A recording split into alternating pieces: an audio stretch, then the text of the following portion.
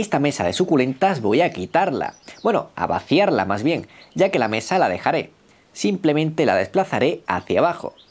Este otro rincón de Litops también, ya que la colección de Litops ha ido creciendo y me solicitan más espacio.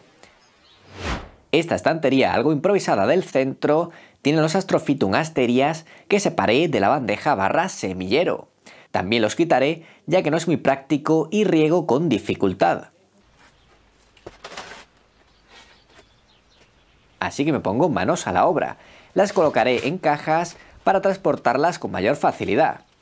Aquí hay mezcladas tanto plantas madre como plantas propagadas de esquejes y semillas. Las iré separando convenientemente.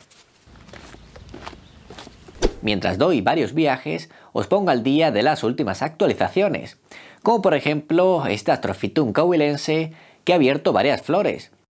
Emitirá varias flores a lo largo del año y conforme tenga más edad irá abriendo flores simultáneamente, como por ejemplo en este caso. El rayito de sol Olamprantus está espectacular. Os quiero enseñar las flores ya cerrando al atardecer.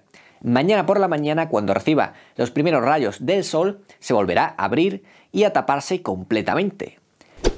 Tengo pedido algunas especies más de este género, con flores naranjas, rojas, blancas. Espero que se pongan igual que este. Pero volviendo al invernadero, ya he retirado las suculentas y he comenzado a poner los astrophytum.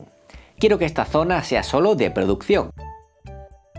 Al mover la mesa hacia abajo, me ha entrado otra en la parte superior, donde voy poniendo los litos, no los de mi colección, sino los que separé de la bandeja y los que voy sacando de semillero. ¿Dónde están los litos de mi colección personal? Es decir, las plantas madre. Pues están aquí, en la estantería que antes contenía los Astrophytum. Algunos han tenido una transformación muy interesante a lo largo del año. Ya os lo enseñaré en futuros vídeos. En esta estantería tengo puestos los esquejes, semilleros e hijuelos. Y en esta mesa a su derecha hay suculentas de diversas especies que ya están enraizadas, pero todavía está en proceso.